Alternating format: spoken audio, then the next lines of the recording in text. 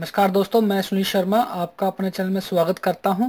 आज हम बात करेंगे कि कैसे हम वायरलेस माउस को डीवीआर से कनेक्ट कर सकें। How to connect wireless mouse on DVR सबसे पहले हमें वायरलेस माउस को समझना बहुत ज़रूरी है ताकि इसका यूज़ करते वक्त आपको किसी तरह की परेशानी ना आए। चलिए हम वायरलेस माउस के सबसे पहले फीचर्स के बारे में बात करते हैं। यहाँ पर आप देख सकते हैं ये वायरलेस माउस का पावर स्विच है।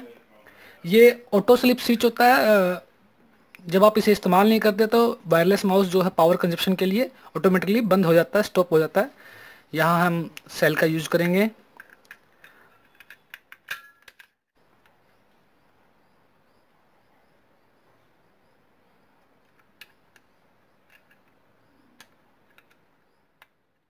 यहाँ वायरलेस माउस में आपको एक मेटल रिसीवर दिखाई दे रहा होगा इसे आप बाहर निकालिए।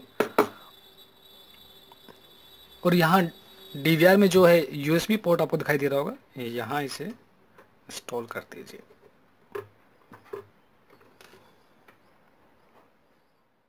अब हमारा वायरलेस माउस जो है डीवीआर पर इंस्टॉल हो चुका है बट अगर हमें वायरलेस माउस को यूज़ करते वक्त सिग्नल में प्रॉब्लम आती है, उस कंडीशन में हम इस तरह से यूएसबी एक्सटेंशन केबल का इस्तेमाल कर सकते हैं, जिससे ये प्रॉब्लम सोल्व हो सकती है आपकी। इसके यूज़ में करना आपको बता देता हूँ।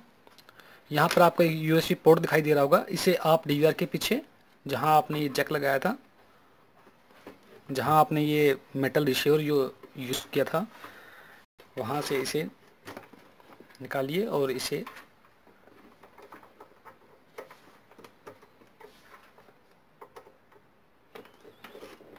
यूज़ कर दीजिए। यूएसबी एक्सटेंशन केबल में इस तरह से इंस्टॉल कर दीजिए।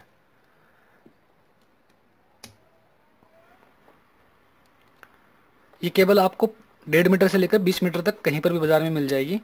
इसका इस्तेमाल करने के बाद आपका जो वायरलेस माउस जब यूज़ करते हैं तो काफ़ी प्रॉब्लम आती है तो वो प्रॉब्लम आपकी सोल्व हो जाएगी।